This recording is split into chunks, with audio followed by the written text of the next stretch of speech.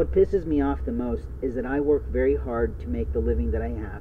It's incredibly modest. It's incredibly humbling. I am a priest and I do have a, a, vow of poverty at the present time. It is not the vow for the rest of my life. It is my life right now because people keep interfering with my life. And some will say, oh, he's just a mental health guy. No, he's not. I'm a man saying that we have human rights. And I am telling you, motherfucking gay, fucking faggot, lesbian, dykes, gay men, I don't give a fuck what you are. I really don't care anymore. I have no desire to help you with your diversity plan. I don't give a shit about your life because of all the crap that these police officers did to my life. But let me explain something to you. You got something to say to me, you stand the fuck in front of me like a real human being and accuse me of whatever the fuck you think you have the right to accuse me from for in front of God. Because I guarantee you're not in my life. You don't know one fucking thing about my daily life. And if you've been stalking me and studying me and doing all this shit to me, you're full of shit.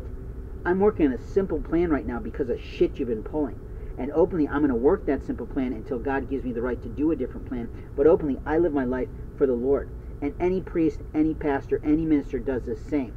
Or is he just having a business opportunity that he couldn't do in the real world? Because he's that bad of a business person, he's that bad of an employee, and he found a way into leadership that way. Every human being has the right to choose their path, and you, sir, don't have the right to do one fucking thing to anyone without their consent. So let's be clear. When I get angry, I get angry. When you get angry, you get angry. But what are you angry about? What the fuck are you angry about? Your life is your life. Go live your life with your fucking bitch wife. Go live your life with your stupid ass children that you're not producing to produce any kind of life, but leave my life alone. My life is my life. I choose who's in my life, not you.